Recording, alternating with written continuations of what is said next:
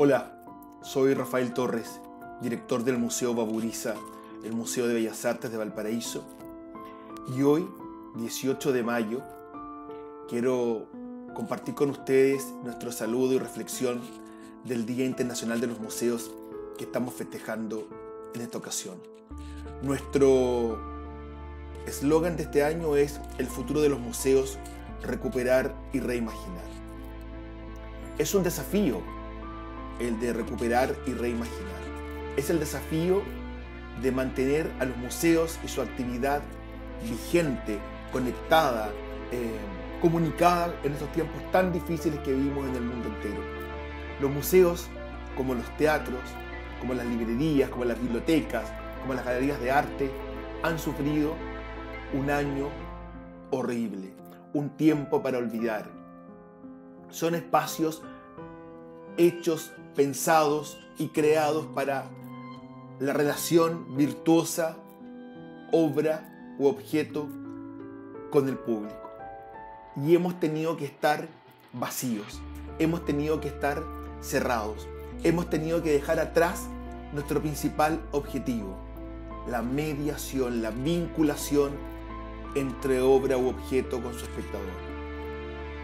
Pero pese a estos tiempos asiagos, la cultura ha sido, como siempre a lo largo de la historia, primero un elemento de memoria, ha sido un elemento de reflexión, ha sido un lugar desde donde entender procesos similares en otros momentos y ha sido sin duda un bálsamo para el espíritu de las personas. Nos ha alegrado tanto ver cómo el año 2020 casi 800.000 personas se mantuvieron conectadas con el Museo Baburiza a través de sus distintas plataformas digitales. Y cómo esa suma se multiplica cientos de veces en todos los teatros, museos, galerías y espacios culturales de Chile y del mundo. Las personas necesitamos a la cultura como necesitamos el aire, como necesitamos el agua. Es pan esencial y hoy que celebramos este Día Internacional de los Museos, con este mensaje importante de recuperar y reimaginar, queremos recuperar la alegría de estar convocados en los museos.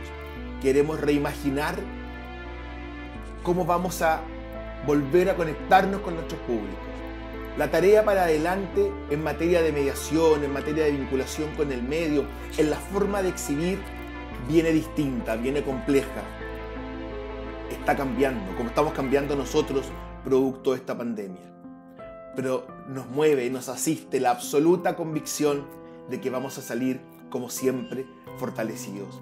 Porque la cultura hace justamente aquello, nos fortalece, nos da herramienta, nos da una mirada más amplia, más importante para enfrentar el día a día de nuestras vidas.